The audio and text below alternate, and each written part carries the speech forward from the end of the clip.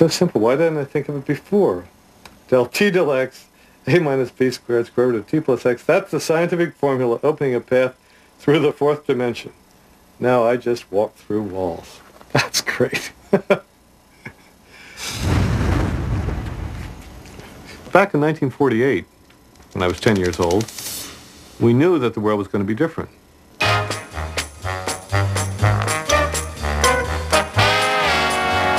Uh, revolutions in transportation. Plane travel was uh, readily available for the first time.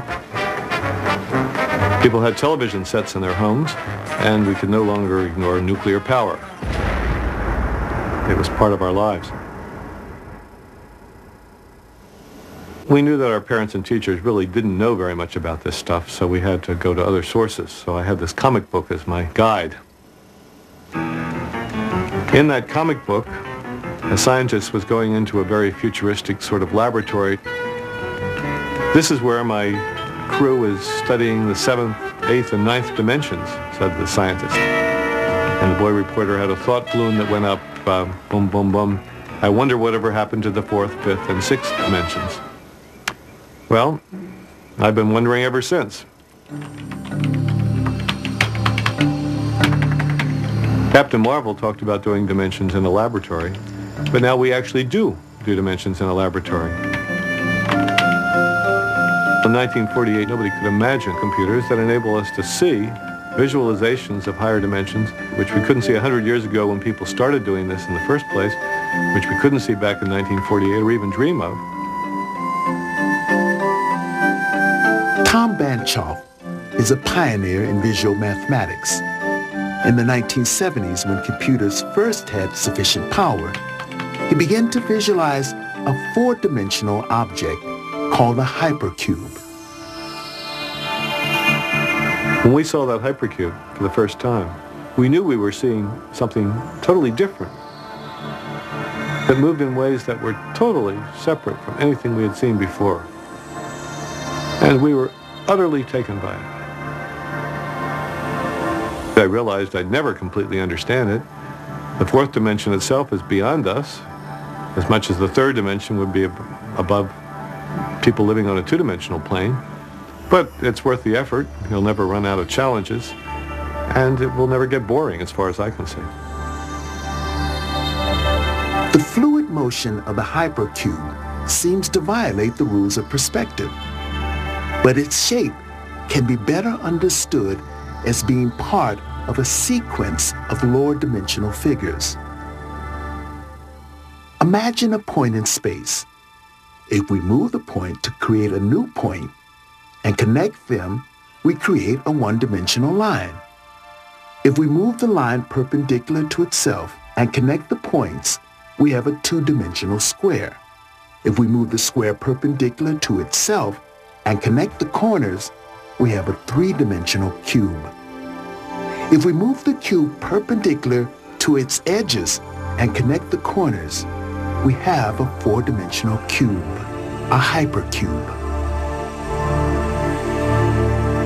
Does the fourth dimension exist? Are there really hypercubes out there? Will we ever see one? And what does the visualization on the computer have to do with some real object? Well, mathematicians actually turn that question around. You can ask whether a square exists.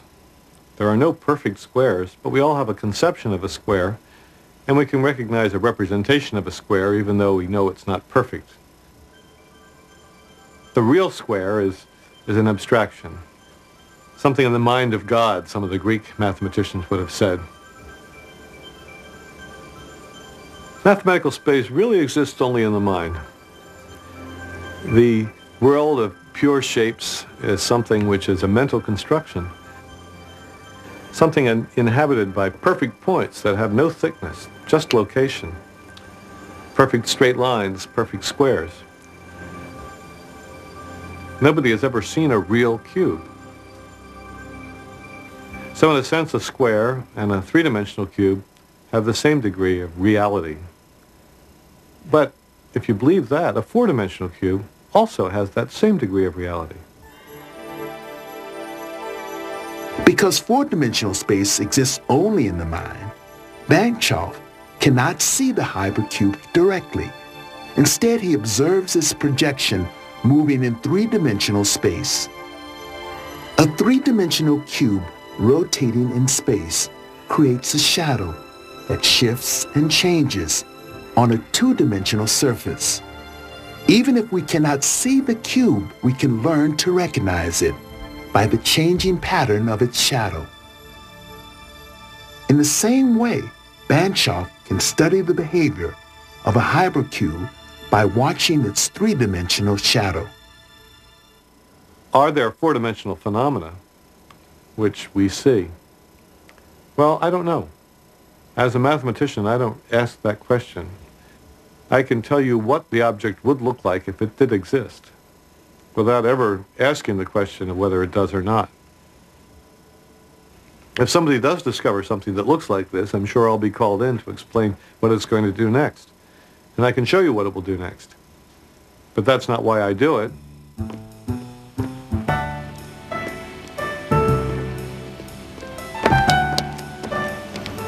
One of the advantages of studying higher dimensions is that it makes you much more sophisticated about your own. I see geometry in everything. When I walk down the street, I'm always fascinated by some form. I love seeing patterns. I love looking up and looking at windows and ledges and seeing the, the way different objects fit together, especially if you position yourself in just the right way.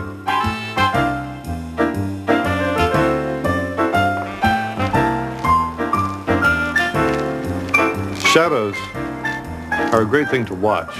I've always enjoyed watching the moving shadows.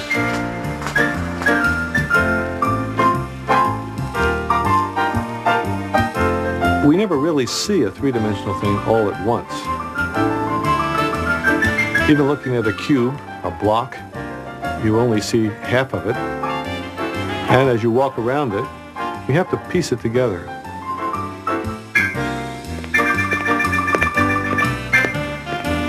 Your problem, if you came into this building for the first time, might be to find my office.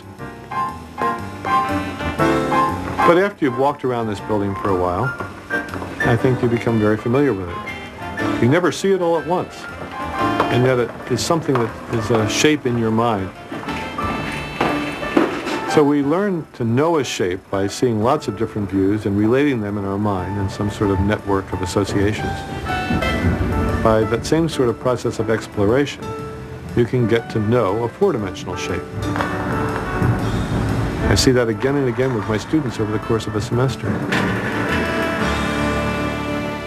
What I try to do with my students is get them to pay very close attention to what they actually see in three-dimensional space. Speaking as a mathematician, I feel the same way. To take that intuition and try to interpret objects that come from higher dimensional space. It's always easier for me to understand things when I can see them.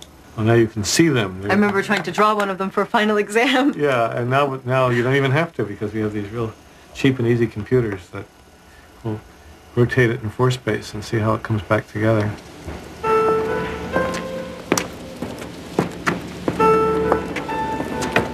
I like to go to different churches, and when I go into a church, there's always a great deal of geometry. Of course, that's very distracting I don't know whether a geometric intuition that comes during a religious service is a inspiration from the Holy Spirit or a temptation from the devil.